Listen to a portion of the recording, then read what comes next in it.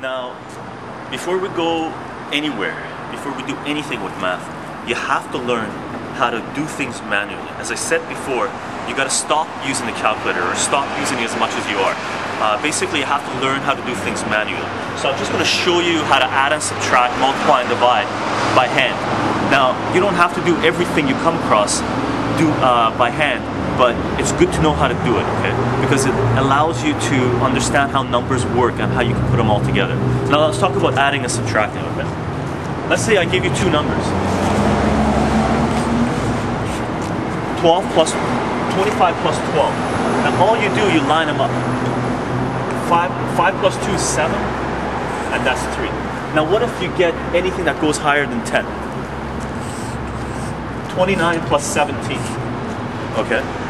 You got 9 plus 7, 6 is 16. So what you do is you carry the 1 up here. Okay? Then you got 1 plus 2 is 3, 3 plus 1 is 4. Easy? Simple. What if you had a huge number? 20971 plus uh, 9282. Well, 1 plus 2, 3, 7 plus 8, 15. You carry the 1 up here. 9 plus 1 is, uh, 9 plus 1 is 10, plus 2 is 12. You carry the 1. 1 plus 9 is 10. 0, you carry the 1, 3. Simple as that, okay? If you want, you add your little comma so it becomes easier to read.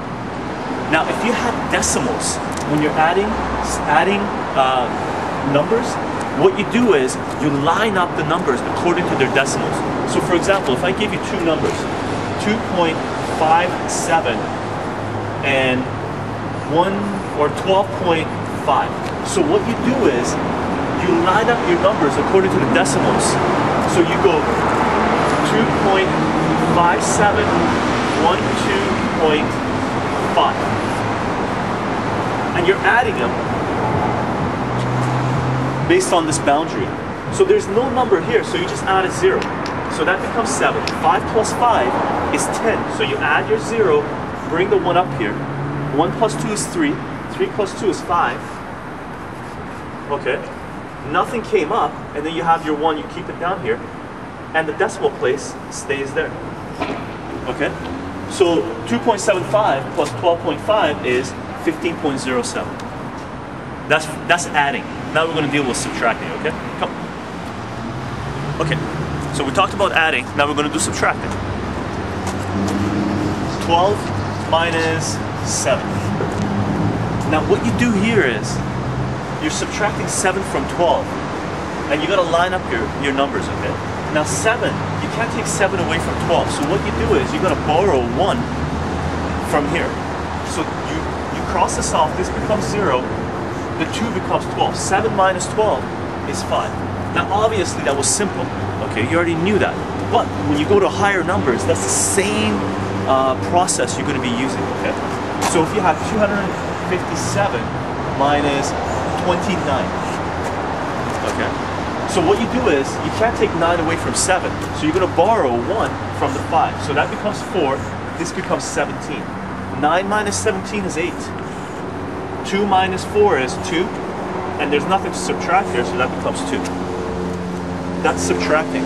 And with the decimals, it works the same way. Line up your decimals, and you continue the same way you did with the additions, okay? So if you're doing 251, 2.51 minus uh, 1.9, so the way you do this is, there's nothing to subtract here, so that's just a zero. That just becomes one.